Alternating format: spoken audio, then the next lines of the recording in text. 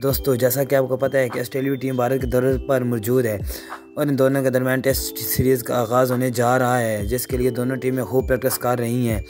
नौ फरवरी से भारत और ऑस्ट्रेलिया के दरमियान पहला टेस्ट खेला जाएगा। इस सीरीज़ को लेकर रोहित शर्मा और विराट कोहली, रविंद्र जडेजा, सूर्या कुमार यादव शुभमन गिल खूब प्रैक्टिस कर रहे हैं। क्या विराट कोहली वनडे और टी ट्वेंटी की तरह टेस्ट में भी अपनी फार्म को बहाल करने में कामयाब हो पाएँगे? खबरें आ रही हैं कि भारत इस बार तीन स्पिनर के साथ मैदान में उतरेगा और स्पिन ट्रैक्स बनाकर ऑस्ट्रेलिया को फंसाने की कोशिश करेगा। तो दोस्तों, इस पर आपकी क्या राय है? कमेंट सेक्शन में भी राय का इजहार ज़रूर करें और मज़ीद ऐसी वीडियो के लिए हमारे चैनल को सब्सक्राइब भी ज़रूर करें। मिलते हैं ऐसी एक और वीडियो में।